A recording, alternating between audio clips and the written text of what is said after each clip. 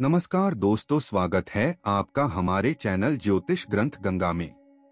ऐसे ही और वीडियो के लिए कृपया हमारे चैनल को ज़रूर सब्सक्राइब करें। रामायण से जुड़े 11 रहस्य जिनसे आप हैं अनजान। रामायण क्या है? हिंदू धर्म में रामायण को एक पवित्र ग्रंथ माना जाता है।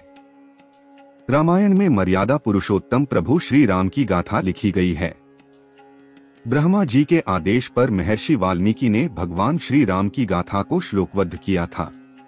इन्हीं श्लोकबद्ध श्री राम की गाथा को वाल्मीकि रामायण कहा जाता है। वाल्मीकि रामायण को सबसे प्रमाणिक रामायण माना जाता है। महर्षि वाल्मीकि को आदि कवि कहा जाता है। रामायण कितने प्रकार के हैं? पूरी दुनिया में उपलब्ध रामायण को अगर हम देखें तो यह 300 से लेकर 1000 प्रकार के हैं। अलग अलग देश में विभिन्न भाषा के रामायण उपलब्ध है। हिंदी में 11, बांग्ला में 25, तेलुगु में 12, तमिल में 12, मराठी में 8, उड़िया में 6 लिखी गई है।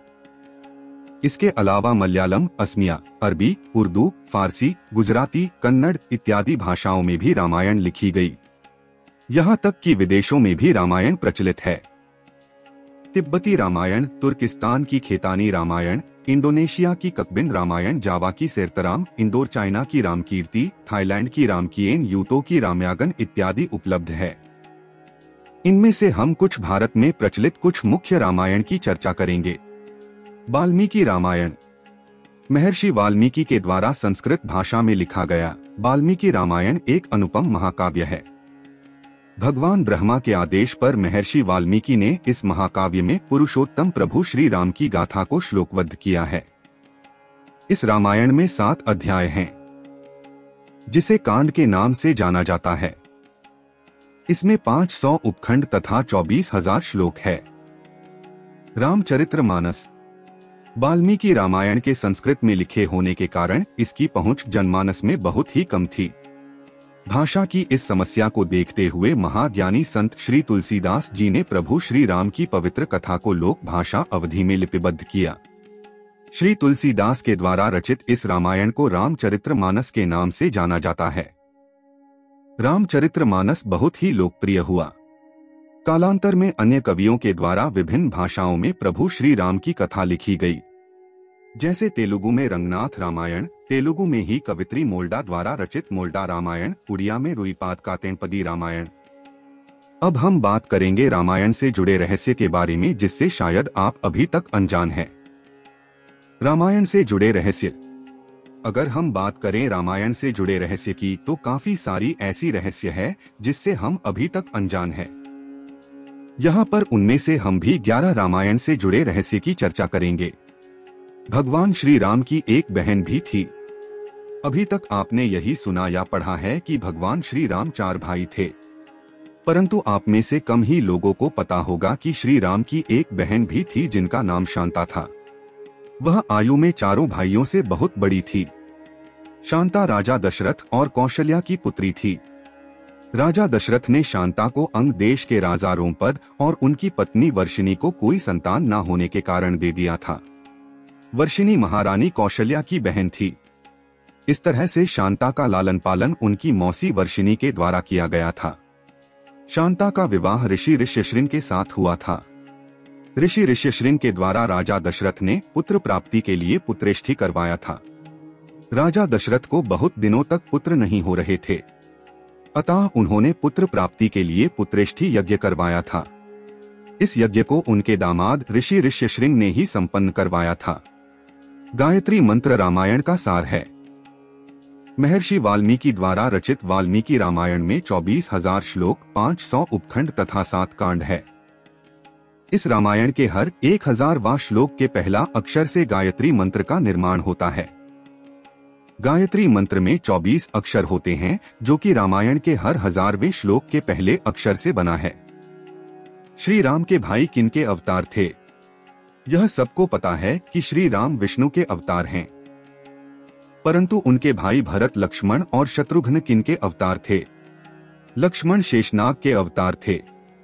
भरत भगवान विष्णु के हाथों में धारण किए गए सुदर्शन चक्र के अवतार हैं।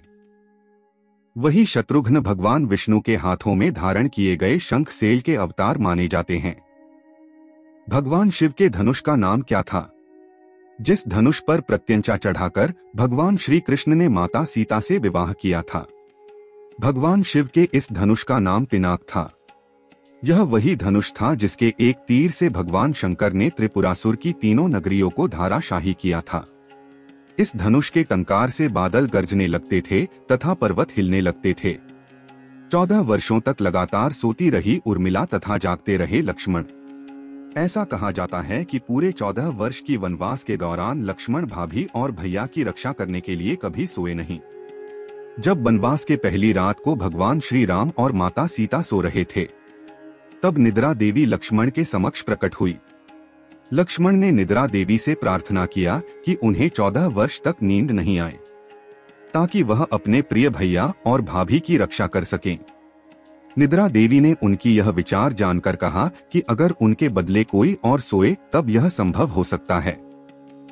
इसके बाद निद्रा देवी लक्ष्मण की आग्रह पर उनकी पत्नी उर्मिला के पास गई। उर्मिला ने सब कुछ जानकर चौदह वर्षों तक सोने के लिए स्वीकार कर लिया। इस प्रकार लक्ष्मण चौदह वर्षों तक जागते रहे और उर्मिला चौदह वर्षों तक सोती रही। रावण एक उत्कृष्ट वीणा वादक भी था। यह तो सबको पता है, रावण एक विद्वान तथा चारों वेदों का ज्ञाता था। परंतु क्या आपको पता है कि रावण एक उत्कृष्ट वीणा वादक भी था? जिसके कारण उसके प्रत्येक ध्वज में वीणा का चित्र होता था। रावण को यह वाद्य यंत्र बजाना बहुत पसंद था। हालाँकि अपनी इस विद्या को रावण ज़्यादा महत्व नहीं देता था। कुंभकर्ण के छह महीने सोने का कारण क्या था? जैसा हम जानते हैं कि कुंभकर्ण छह महीने तक लगातार सोता था तथा एक दिन खाने के लिए उठता था। दरअसल एक बार कुंभकर्ण के यज्ञ से प्रसन्न होकर भगवान ब्रह्मा प्रकट हो उसे वर मांगने को कहा। यह देखकर इंद्रदेव परेशान हो उठे। उन्होंने सोचा कहीं यह इंद्रासन न मांग ले। इंद्रदेव ने माता सरस्वती से प्रार्थना करके कहा कि आप उसके जीवा पर बैठ जाएँ। फलस्वरूप कुंभकर्ण इंद्रासन के बदले निद्रासन मांग लिया। श्री राम ने अपने प्रिय भाई लक्ष्मण को मृत्युदंड दिया। लंका विजय के बाद श्री राम अयोध्या पर राज करने लगे। उसी दौरान एक दिन यम देवता किसी विषय पर चर्चा करने के लिए श्री राम के पास आए। बातचीत प्रारंभ करने से पहले यम देवता ने श्री राम से कहा कि जब तक हमारे बीच बातचीत होगी, यहाँ कोई नहीं आएगा। अगर कोई आया तो उसे आपको मृत्युदंड देना होगा। तब श्री राम ने लक्ष्मण को द्वारपाल नियुक्त कर कहा, उनकी और यमदेव के बीच कुछ ज़रूरी बातचीत हो रही है। कोई अंदर नहीं आ पाए। अगर कोई आया तो उसे मृत्यु दंड दिया जाएगा। थोड़ी देर बाद श्री राम से मिलने दुर्वासा ऋषि आ गए। लक्ष्मण ने उन्हें विनम्रता पूर्वक मिलने से मना किया। दुर्वासा ऋषि ने क्रोधित होकर पूरे अयोध्या को श्राप देने की बात कही।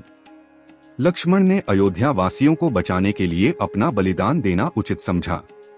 उन्होंने श्रीराम से जाकर दुर्वासा ऋषि के आने के बात कही। यह देखकर राम दुविधा की स्थिति में आ गए कि वो अपने भाई को मृत्युदंड कैसे दें। इस दुविधा से निकलने के लिए उन्होंने अपने गुरु ऋषि वशिष्ठ से संपर्क किया ऋषि वशिष्ठ ने उन्हें कहा कि किसी प्रिय व्यक्ति का त्याग करना उसके मृत्युदंड के समान ही है श्री राम ने लक्ष्मण का त्याग करने का निर्णय किया यह जानकर लक्ष्मण ने कहा कि आपसे दूर रहने से अच्छा है कि मैं मृत्यु को गले लगा लूँ। फिर लक्ष्मण में जल समाधि ले लिया। रावण की बहन शूरपणखा भी रावण का सर्वनाश चाहती थी। लक्ष्मण के द्वारा रावण की बहन शूरपणखा के नाक काटे जाने के कारण रावण ने माता सीता का हरण किया था। लेकिन यही शूरपणखा ने रावण को श्राप दिया था कि उसका सर्वनाश हो जाए। सूरपंखा का विवाह विद्युत जिव के साथ हुआ था। विद्युत जिव कालकेय नामक राजा का सेनापति था। जब रावण के विश्व विजय अभियान के दौरान उसका युद्ध कालकेय के साथ हुआ, तब युद्ध के दौरान रावण ने कालकेय के सेनापति विद्युत जिव का वध कर दिया। अपने पति के मृत्यु से दुखी होकर शूरपणखा ने रावण का सर्वनाश होने का श्राप दिया था। तैतीस करोड़ देवी देवता नहीं, कुल तैतीस देवता है। हिंदू धर्म में 33 करोड़ देवी देवता की अवधारणा है। परंतु रामायण में सिर्फ़ 33 देवता ही बताए गए हैं। रामायण के अरण्यकांड के चौदहवे सर्ग के चौदहवे श्लोक में सिर्फ़ 33 देवता के बारे में बताया गया है। इस पवित्र ग्रंथ के अनुसार बारह आदित्य, आठ वसु, ग्यारह रुद्र और दो अश्विनी कुमार है। हमारे चैनल के साथ जुड़कर जीवन को ज्योतिर्मय बनाने, जीवन शैली को बेहतर करने और हिंदू और सनातन धर्म के बारे में समाज में जागरूकता फैलाने के लिए हमारे वीडियो को लाइक करें, ज़्यादा से ज़्यादा लोगों तक शेयर करें और हमारे चैनल को सब्सक्राइब करें।